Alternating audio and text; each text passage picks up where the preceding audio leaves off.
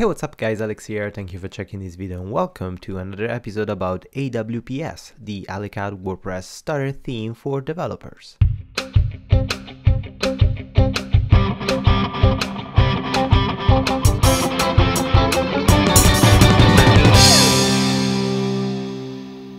Welcome again. In this video we're going to take a look on the PHP aspect of the theme and how I structure it to follow an object-oriented programming convention instead of a more procedural type of approach. So first of all let's access the functions.php that is the file that pretty much every theme uses to define all the features and options of a specific WordPress installation. So if we open the functions.php that's gonna look kind of weird because it's completely it's kind of empty. There's nothing. The only thing that this file does is other than giving you a bunch of instructions to tell you hey this is how it works it uh, checks if the autoload file from uh, a composer that we dynamically downloaded during the installation process it's available in the vendor folder. In our case it's available here so that's perfect.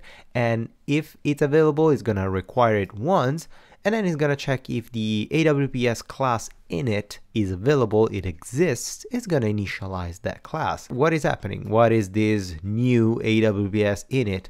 We don't have especially in my project that I called Sabrina Miso, we don't have any AWPS folder, we don't have anything, and especially this init class, how do we know where it is? So First of all, the AWPS is defined inside the composer.json file that we're using in the theme to uh, basically load all the vendor scripts that we need and to declare the autoload PSR4 option. In this case, the autoload PSR4 is set to use AWPS and AWPS, it's a refer it's like a symlink to the config folder that we have in our theme. So AWPS is basically just config is an acronym is um, a, a symlink is um, just a custom name for the config folder.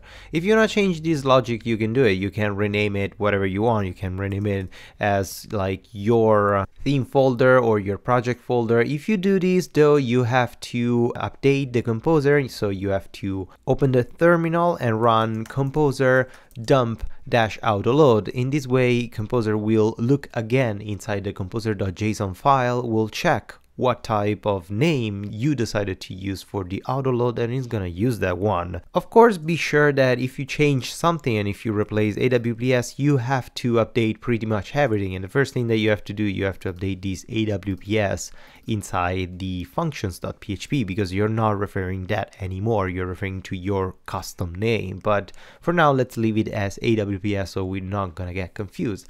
So the first thing that, uh, the first and only thing that our functions.php does is initializing or calling a new instance of the init class inside AWPS. So let's open the config folder and we have an init file that has the same name of the class that we're calling. So Let's open this one and here we have the magic of PHP object-oriented programming with the namespaces available thanks to Composer. So we are declaring that this init file has a namespace of AWPS because it's inside the config folder that we are calling AWPS. Then we have a class, let's ignore all these use for now. Um, we have a class declare called init, that is the actual class that we're calling here. So we're declaring a new instance of the init class. And this init class, everything that it does is during the initialization, during the construction of this class, calls a public method inside itself called init classes. This init classes is checking if the private static variable that is declared for itself is true. If it's true, it's gonna stop the execution of the init classes method. If it's not true, it's gonna follow through, do all the things that we want to do it, and it's gonna declare these two true. If you notice here at the beginning of the class, we have this private static variable set to false. This is a um, safety precaution in order to avoid to load these init classes method multiple times because if we load it once, we will update the value of this loaded variable to true. And this script, if we call this script again at the same time, or just like after half a second, or accidentally we recall another instance of the init class, and we just recently uh, generated all the files and all the instances that we need, we will have this variable set to true. So if this variable is true, it means that this method already ran and we don't need to run it again. So this return is going to stop the execution of this method and going to prevent you recall, reinitialize and recall new instances of classes that we already have and everything is already running. So that's that's the safety lock, the safety precaution. In order to uh, generate all these new classes that contain all the methods and declaration that our team uses, we need to tell the script, we need to tell PHP where to find these classes because right now we are saying just, okay, let's create a new setup, but this setup class is not here. We're not using a require, we're not using an include. So where is this setup class coming from? Simply is coming from these use. So we are telling to our PHP script to use the tags class that is inside the AWPS core tags location. And basically, if we follow the structure or the folder structure of our config folder, you will find all these classes here. So for example, the tags, it's in AWPS, that's config core, let's open core, tags, we have tags. And if we open here, we have a set of namespace to say these tags. It's inside AWPS core and the class name is tags. Pretty straightforward, right? Pretty clear. So because we are saying to the script, use this location, now we can simply create a new tags class. We are creating a new instance of this tag class. Basically, what everything that this use does is just by simply having a sort of like require once config core tags.php. Instead of manually writing require once, instead of manually writing the structure like the URL, the path of the file with the file extension, we can use the namespaces. And using the namespaces is really handy because we remove a lot of extra typing that we don't need to declare anymore the extension of a file, we don't need to declare exactly the name of the folders, and plus we can define our own structure by defining the namespaces of every single file, and we can call directly that class inside the namespace. So just glancing at this, we can know immediately where these files are because this is the exact same file structure that we're using here. So that's that's pretty simple. Just take a look around and see all the methods that I declare and uh, these methods are in order of importance for WordPress, kind of or like the order that I think it's important. You can change the order but doesn't really matter. So let's take a look at the enqueue that is kind of like the most standard method that WordPress that a theme has for WordPress if we access, if we don't know where the enqueue is, just scroll back up, use AWPS setup enqueue. So AWPS setup enqueue is right here. In the enqueue class, in the construct, what we're doing, we are adding the action. We are using a built-in method of WordPress to add an action of WP enqueue scripts, and then we're calling our enqueue scripts. This way of calling it using an array and using the ampersand dollar this, it's because we're using a class structure. We're using an object-oriented type of calling. Uh, if it was just simply procedural, we would have called our method in this way. Just simply add action, WP enqueue script, and then the name of the method that we want to call. But because this structure is not procedural, we need to wrap the call of the method inside an array and then pass as a first variable this that refers to the actual class. So it's telling the script to look for this method inside this class. Pretty straightforward. Inside the method, of course, the methods and functions and functionalities of WordPress are the standard ones. We have the enqueue style that is grabbing the compiled minified CSS style and enqueue script that it's grabbing as well the minified main.js file. And then we have a check if we have a singular page, a comments open, or we have the thread comments option. The system will automatically enqueue the scripts for the comment reply features. Um, nothing weird here. You have the option I left in the comment to uh, deregister the scripts of the jQuery if you're planning to use jQuery not through the ES6 import JavaScript that I explained in the previous episode. You can enqueue it in this way or deregister it and put your version, but it's totally up to you. Um, so probably now you have a question. Why should I use this method? This looks really convoluted. Why should I declare namespaces for every file? Why should I call it in this way instead of using just a require? And why should I use classes instead of simply write the name of the function and call the function without declaring a class, wrapping the method inside the class, and then initializing the class, and then calling that method through an array with this variable. This like totally looks an overkill, totally is hyper convoluted. I totally understand your point. I totally see what you're saying, but this method will solve the main issue of WordPress and the main issue of WordPress is the situation of accidentally having a method or a function's name that has the same exact name of another one that you're already using. Because realistically, how many plugins are you gonna use in your theme? Probably more than 10, and it's kind of an average. And how many times did happen to you to have in your theme a method or a function named in a specific way and the name of the method is used identically in another plugin. So you have two functions with the same name and you cannot have those in PHP because you're gonna have a conflict. So this way of wrapping these classes or this method, the default method of WordPress, inside classes will avoid completely this issue. That's why all the classes that I'm using, they have really common names. They have enqueue scripts. This is like the most common method name ever.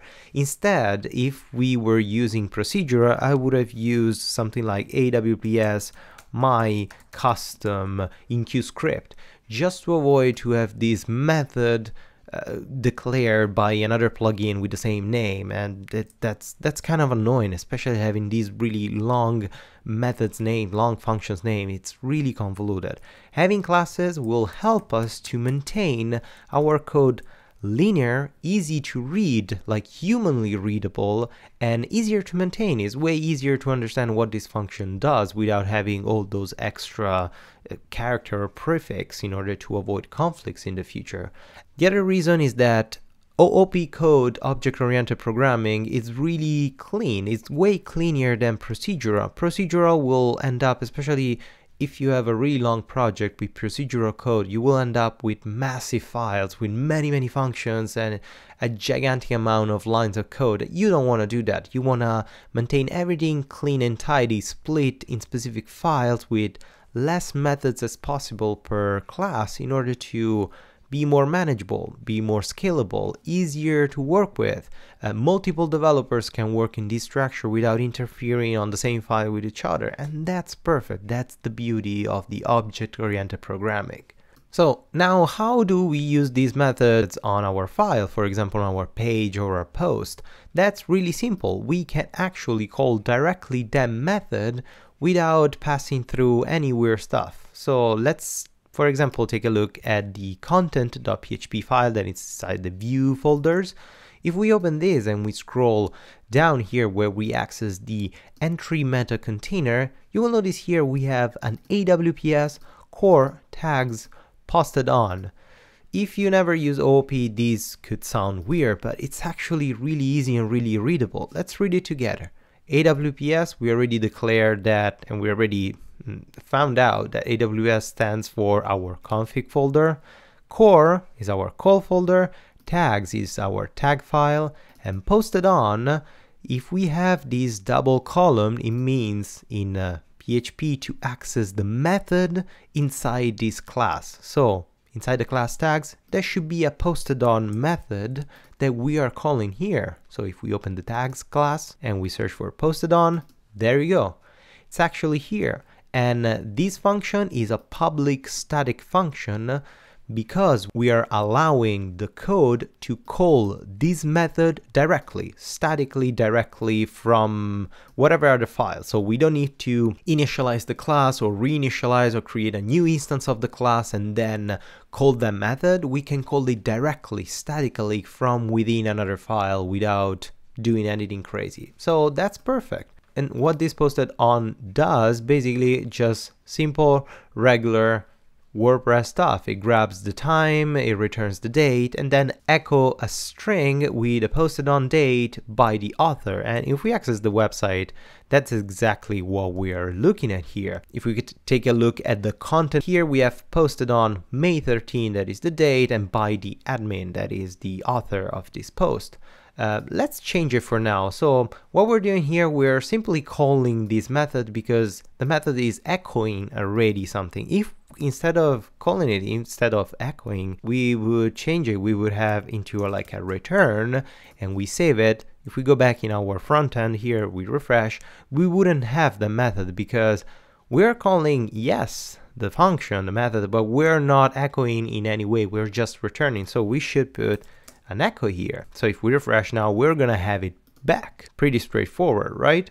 Because this method is returning a HTML and PHP string all together, I don't need to store this result inside a variable, so I can safely remove the echo and just simply, instead of return whatever value I'm gonna have and just echo it together because this script is not, is not gonna get called automatically inside the class if I don't call it directly.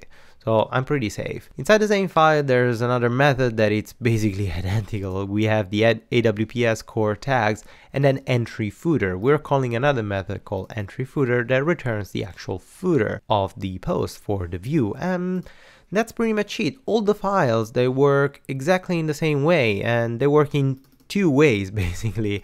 Or during a construct or during the construct of the class, so when the class gets initialized first inside the init.php file, we use a built-in action uh, of WordPress to build the sidebar, create a custom post type, or activate the appearances options and all those kind of sweet stuff. Or we have public static method functions that we can call directly inside our PHP files. So why don't you try it and you have fun, especially as I stated in the init.php file, why don't you try to use the custom.php that I left especially for you. Inside here, I created a, a, fake placeholder function called custom post types to generate a custom post type for books. And here I listed all the attributes that you can use to customize the custom post type. But here you can do whatever you want. Let's try to create um, built-in action or initialize a built-in action from WordPress or create a public static function inside the custom and then call that public static function inside your own file. So let's have fun with PHP and object-oriented programming. So it's pretty much it for today's lesson. Hope you enjoyed. If you did, please give it a thumbs up or subscribe to my channel. And if you want, you can spend a couple of minutes on the support me page on my website where you can find all different ways and methods to support me, support my channel and help me to do better videos and better tutorials for you. Thank you again guys and until the next lesson, as usual, happy coding!